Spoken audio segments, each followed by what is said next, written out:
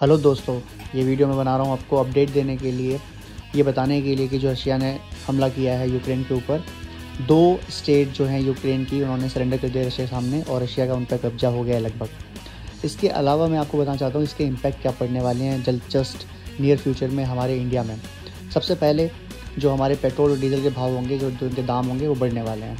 और एक ही दिन के अंदर 177 बिलियन डॉलर्स का निवेश बाहर हो गया है स्टॉक मार्केट से एग्जिट हो गया है वर्ल्ड वाइड इतना ज़्यादा इम्पैक्ट पड़ रहा है इसका।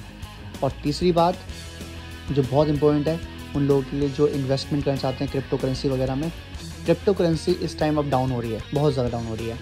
और आपको जान के हैरानी होगी कि क्रिप्टो करेंसी की इस टाइम जो रेट है, वो 25 परसेंट तक गिर चुकी है।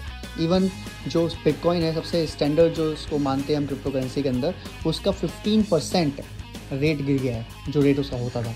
इससे मालूम पड़ता है कि क्रिप्टो करेंसी कितना डाउन हो रही है। हाँ ये अच्छा पर्पज़ भी है अच्छा तरी अच्छा स्पेस भी है जो लोग इन्वेस्टमेंट करना चाहते हैं, लेकिन इतना ध्यान रखें कि जब तक लड़ाई रुके ना, जब तक लड़ाई ख़त्म होने के कगार पर ना पहुँचे, तब तक इन्वेस्टमेंट ना करें। क्योंकि फिर तो बढ़ेगा ही ज़रूर, लेकिन तब तक डाउन ही जाएगा। ऐसा ना होगा आपका पैसा वेस्ट हो जाए। So please be safe secure and मेरी पूरी नज़र है इसके ऊपर। जैसे ही कोई और अपडेट आएगी, मैं आपको फिर तुरंत एक वीडियो बना के अपलोड करूँगा।